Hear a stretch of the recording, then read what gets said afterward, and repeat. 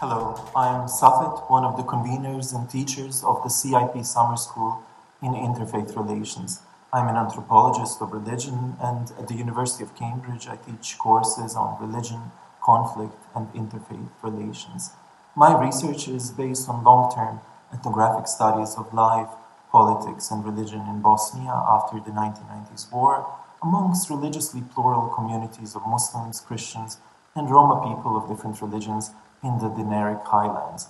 Their encounters, syncretic rituals, and shared histories have experienced attacks by ethno religious nationalist programs which portrayed people of different religion as incompatible, always in conflict, never attaining harmonious, peaceful relations.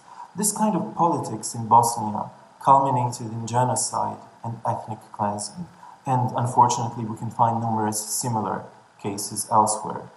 By studying interfaith relationships in such contexts, I'm very much concerned with how the state and politics intervene into our religious identities, but also with the surprising modes of resistance found in tradition. I'm especially interested in non textual forms of research, and this year I will lead a session on visual approaches to interfaith relations, exploring their benefits and pitfalls, focusing on their potential to represent lived religion. We will start by considering anthropological photography, film, and cognitive mapping, and then you and the other participants will have a chance to present your own visual contributions in an interactive workshop. You will also have a chance to visit a virtual exhibition of anthropological photography on shared sacred landscapes around the world, which I curated recently.